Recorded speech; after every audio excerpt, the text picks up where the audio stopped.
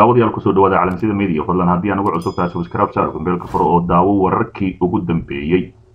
xog xasaasi ah sheekh shariif sheekh axmed iyo xasan sheekh maxamuud oo amar lagu bixiyey in ilaalada laga reebo islamarkaasina villa soomaaliya gaar ahaan madaxweyne farmaajo ayaa waxa uu yidhi ilaalada koofi guduud ah ee ilaalisa madaxweynihii hore ee soomaaliya. Ama labaduba ha laga qaado taasi waxaa la amray master odowa oo ah taliyaha xoogga dalka soomaaliya oo ah nin afgaan islamarkaasina waa uu ka biidiiday xildhibaane ayaa maandhood soo qaylinayay. Villa soomaaliya ayaa qorshe halisa wada oo amnigooda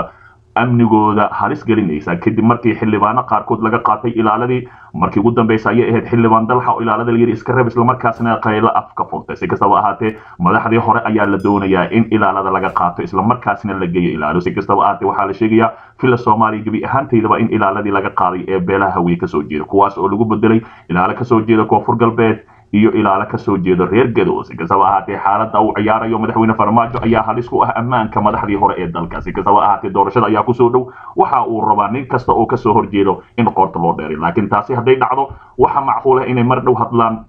madaxweynayaashii hore ee dalka soomaaliya soomaaliya islamarkaasina la yidhi koofi guduudda waardiyaha iday ah soo dhiiba iyo amar diidadii master odowa oo laga yaaba in xilka laga qaado qodobada iyo qodobo kale ayaa maqlaysaan daawada nala jiro subscribe saar calansida media dhowrkii maalmood ee la soo dhaafay waxaa dood culus ka taagan tahay amar lagu bixiyey in ciidanka ilaalada gaarka ah ee laga qaado madaxweynayaashii hore ee soomaaliya xasan sheekh maxamuud iyo sheekh shariif sheekh axmed islamarkaasina loo geliyo kuwo aan tababarnayn islamarkaasina naftooda halis la geliyo doodan ayaa u dhexaysa xubno ka tirsan xafiisyada madaxweynaha soomaaliya iyo taliyaha ciidamada xoogga dalka generaal odawa yuusuf raage sida ay xog hoose ku heshay warbaahinta calansida media wararka ayaa sheegaya in villa soomaaliya ay badashay dhammaan ciidamadii koofi gaduudda ahayd ama koofi casta ay ku sugnaayeen magaalada muqdisho waxaana lagu bedelay ciidan cusub oo koofiya cas halka kuwii hore loo wareejiyey gobollada dalka gaar ahaan shabeellooyinka hoose ee jiidda hore ee dagaalada ka socda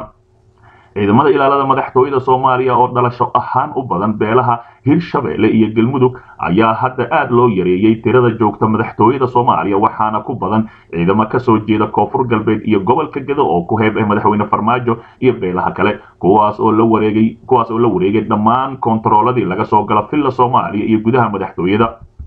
Madaxweynihii hore ee soomaaliya ayaa waxaa ilaalo u ahaa tobaneeyo ka mid ah koofiye casta madaxtooyada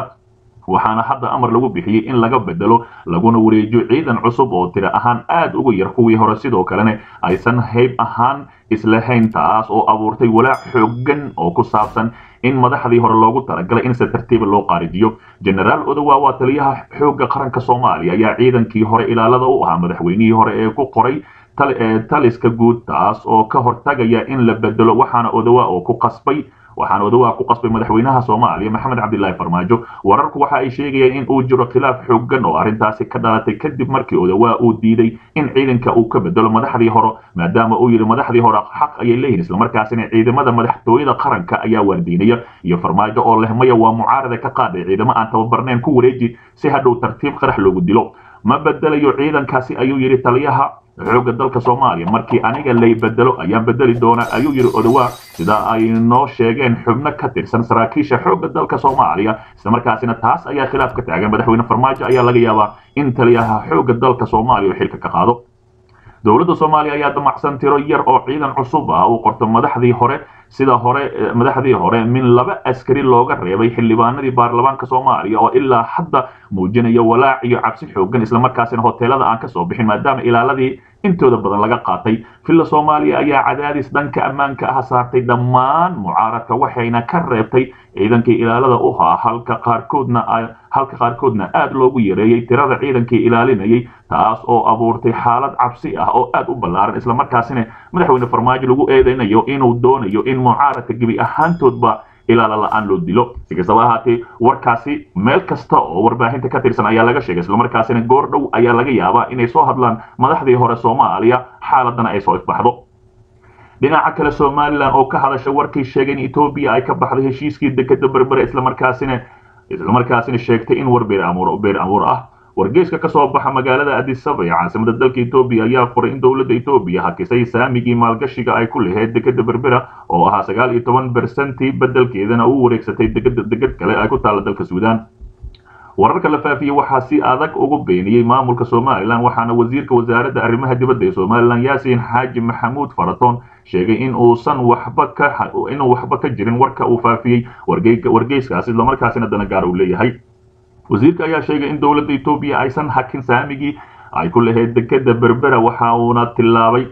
waxaan uu tilmaamay wasiirka in xiriir la sameeyey mas'uuliyiinta etoobiya una caddeeyey in warkaasi uusan jirin master faraton ayaa caddeeyey in warkaasi wargeysku faafiye uu ahaa mid dano gaar ah laga leeyahay. Waxa uuna caddeeyey in heshiiska saami qaybsiga degada berbera uu weli sidii yahay wax isbedelayna aysan jirin islamarkaasina heshiiska ay ku jiraan. Maamulka somalilan ayaa heshiis maalgashi saami qaybsi degada berbera. Waxa uu la galay dowladda imaaraadka carabta iyo etoobiya waxaana saamiyada loo qeybiyey imaaraadka konton iyo kow bercent etoobiya sagaal iyo toban bercenti halka somalilan ay ku leedahay halka somalilan ay ku leedahay soddon iyo kow bercenti si kastaba haatee maamulka somalilan ayaa arrintaasi caddeeyay islamarkaasina ka hortagay in arrintaasi ay bin tahay dhinaca kale wasiirka caafimaadka ee u k oo laga helo cudurka halista badan ee coronavirus islamarkaasina warar hoos ayaa soo baxaya. Wasiirka caafimaadka u k nadine ayaa laga helay cudurka coronaviruska waxaana sheegtay in si iskeed ah ay isku karantiilayso islamarkaasina ay doonaysa in guriga isku xirto. Inkastoo nadina lagu magacaabo wasiirka haddana waa wasiir ku-xigeenka sababtoo ah dalka u k. Waxaa wasaaradda caafimaadka ee u k sareeya ugu sarreeya. Xoghayaha xoghayaha ayaa leh saddex ku-xigeen oo loogu yeero minister kuwaas oo nadina ay ka mid tahay aydane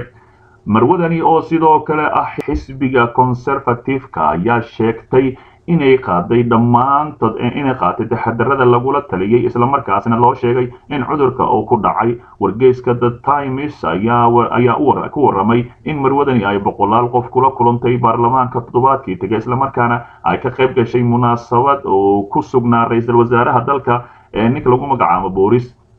waaxda caafimaadka ayaa bilowday in ay dabagasho dhammaan dadkii ay xiriir kala lahayd waxayna xafiiskeeda wasaaradda caafimaadka iyo baarlamaanka ay raacayaan talooyinkii loo jeediyey. Waxaa sidaasi bayaan ka soo saaray ku tiri marwada iminka uu cudurka ku dhacay. Xogayaha caafimaadka u k mata hankog ayaa qoraal uu soo dhigay bartiisa twitterka ku yidhi inuu aada ugu xun yahay in marwada laga helay cudurka waxay samaysay wax sax ah si ay iskeed isku karantiisho ayaa layidhi arrintani ayaa imaanaysa iyada oo tirada dadka ku dhintay cudurka coronaviruska ee u k ay gaartay. Lix qof halka dadka cudurka uu ku dhacay ay guud ahaan marayaan saddex boqol toddobaatan iyo sagaal qof in ka badan in ka badan boqol iyo lixdan kun oo qof ayaa laga helay cudurka coronaviruska guud ahaan caalamka oo idil iyada oo in ka badan afar kun oo qofood ay ku dhinteen. Sida uu sheegay ururka caafimaadka ee adduunka si kastaba ha ahaatee xaaladani ayaa ah midii ugu dambeysay ee lala tacaalayo dadkaasi cudurrada qaba. Si kastaba ahaatee weli wadamo qaar ayaan laga helin cudurkaasi sida talga turkiga soomaaliya iyo wadamo kaloo caalami ah dhinaca kale halis ka jirta degeda muqdisho iyo dowladda federaalk oo baaris deg deg ah ku dhaqaaqday. Sida aynoo xaqiijiyeen ilo wareedyo muhiim ah dowladda soomaaliya ayaa degeda muqdisho ka bilowday baaris ay ku sameynayso shaqaalaha iyo shaqaalaha iyo shakhsiyaadka la socda maraakiibta iyo doomaha ku soo xiranaya magaalada muqdisho islamarkaasina halkaasi la geeyey. Oo dadka arrintaasi ku shaqeeya oo lagu talagalay in ay baarayaan dadka ayaa la geeyay degada muqdisho waxaana ay baaris ku sameeyeen dadka la socdo maraakiibta badeecadaha ka soo keena ama ka soo dejiya ee loogu talagalay islamarkaa magaalada muqdisho ee qaarkood laga baaraya caabuqa coronaviruska. Xukuumadda soomaaliya waxa ay dhowaan sheegtay in ay diyaarisay shaqaale ka shaqaynaya baarista dadka soo gala dalka si loo dhowro caabuqa caafimaadka bulshada soomaaliyeed. Mas'uuliyiin ka tirsan dowladda soomaaliya ayaa maray baarista hubinta caabuqa coronaviruska oo la mariyey rakaabkan la saaray diyaaradaha ay ka soo degeen. Waxaa ka mid ahaa dadkaasi wasiirka amniga dowladda federaalk soomaaliya maxamed abukar islaw ducaale oo maray baarista cudurkaasi. Garoonka diyaaradaha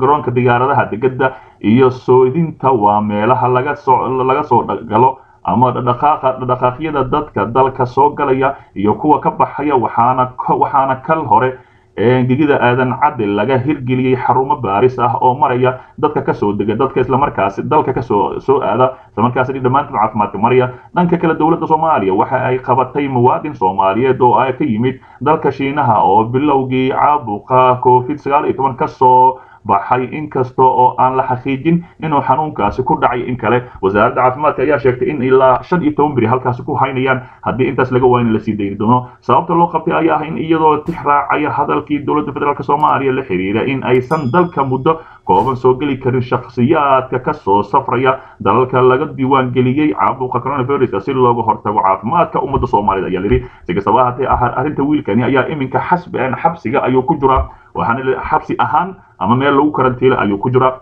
sababta loo qabtay ayaa ah in wiilkaasi in wiilkaasi dalka jaynaha oo ka imaaday iminkana halkaas ku jiro. Wasaaradda ayaa dhanka kale sheegtay in aan la jebin amarka ka soo baxay ee la xiriira socdaalka dadka ka imaanaya shiinaha. Wasaaraddu waxay ka codsatay hay'adaha ay khusayso in ay xisaabtamaan ama la xisaabtamaan oo ay ka qaadaan tallaabada ku habboon diyaaradii jebisay tillaabadani oo dowladda soomaaliya bixisay ee la xiriira caafimaadka isku socodka